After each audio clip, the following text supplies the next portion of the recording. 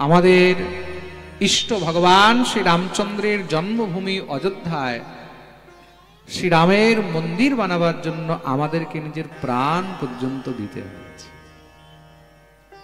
কত সনাতনী, কত রাম ভক্তরা নিজের প্রাণের আহুতি দিয়েছে, আপনারা কল্পনা করতে পারবেন না।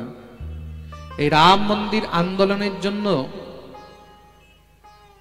কত মায়ের কোল শূন্য হয়েছে। কত নারীদের সিঁদুর মুছে গেছে। আপনারা ভাবতে পারেন, যখন রাম মন্দিরে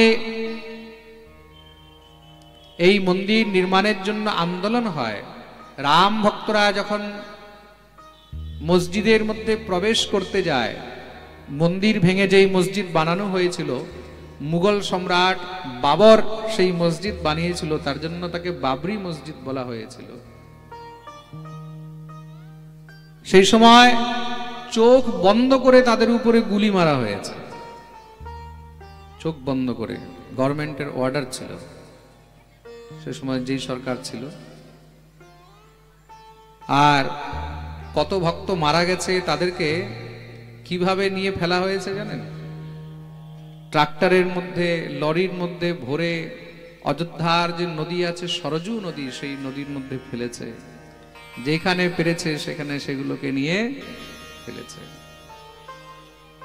কিন্তু এই অনন্ত সংঘর্ষের পরে আজ নিশ্চয়ই তাদের আত্মাও প্রফুল্লিত হয়ে আছে।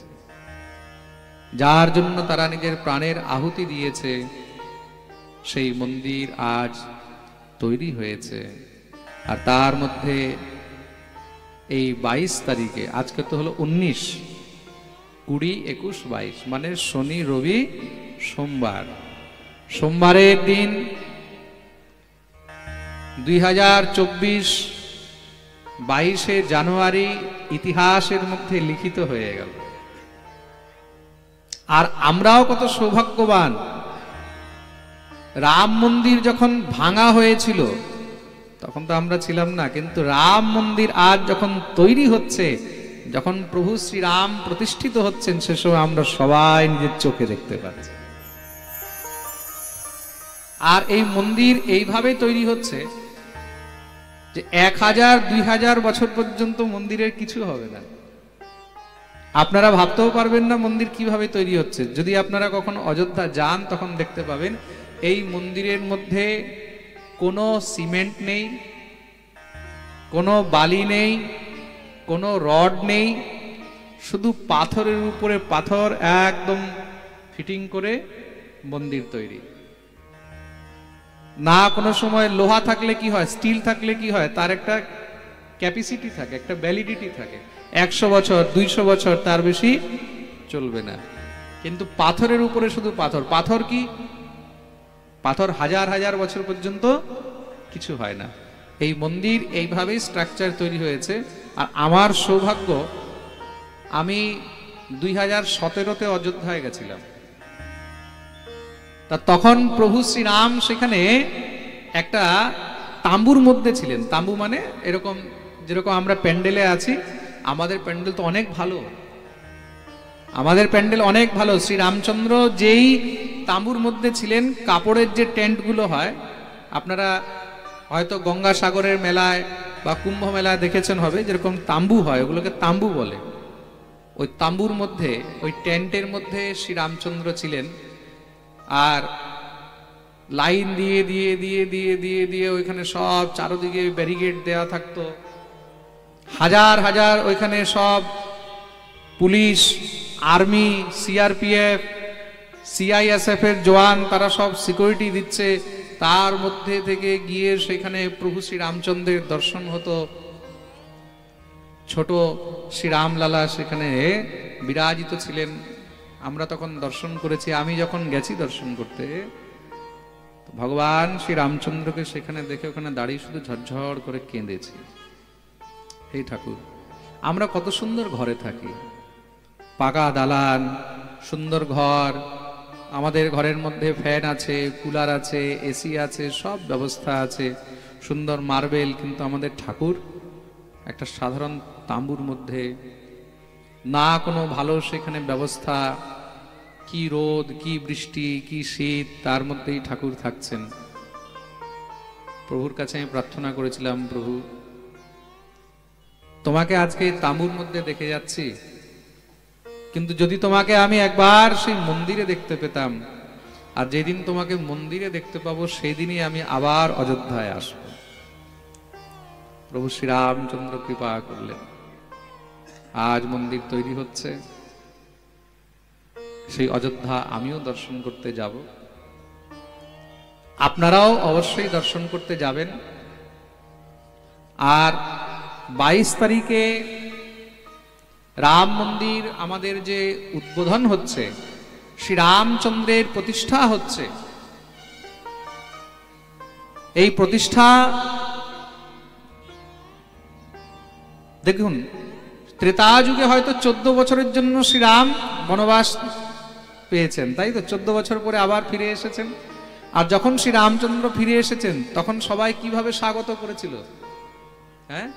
প্রদীপ জ্বালিয়ে। কীভাবে স্বাগত করেছিল?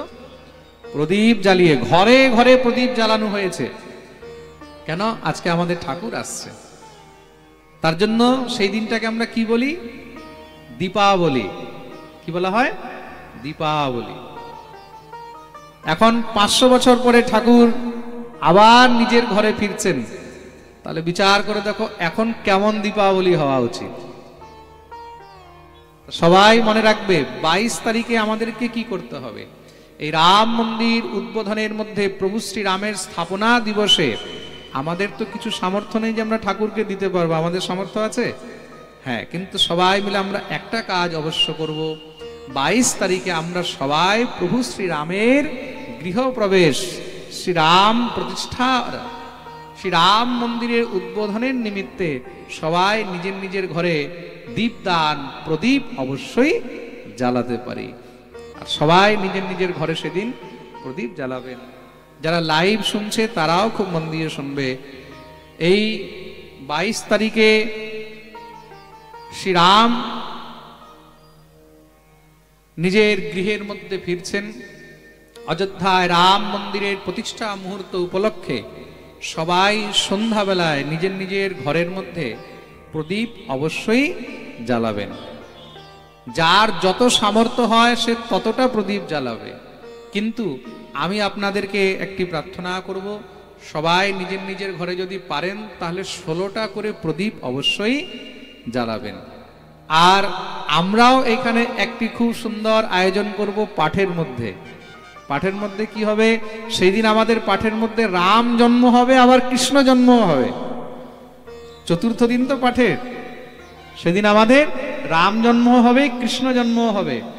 প্যান্ডেল তো আমাদের সাজানো থাকবে বেলুন টেলুন দিয়ে, আর সবাই নিজের নিজের সঙ্গে একটি করে প্রদীপ নিয়ে আসে কারোর কাছে যদি প্রদীপের ব্যবস্থা না হয়, তাহলে মোমবাতি নিয়ে আসবে।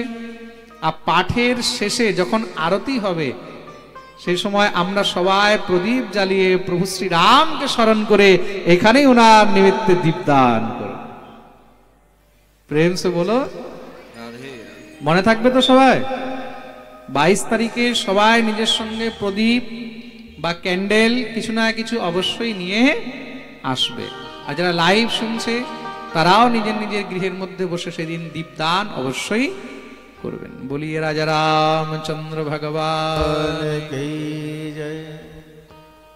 তা সত্য।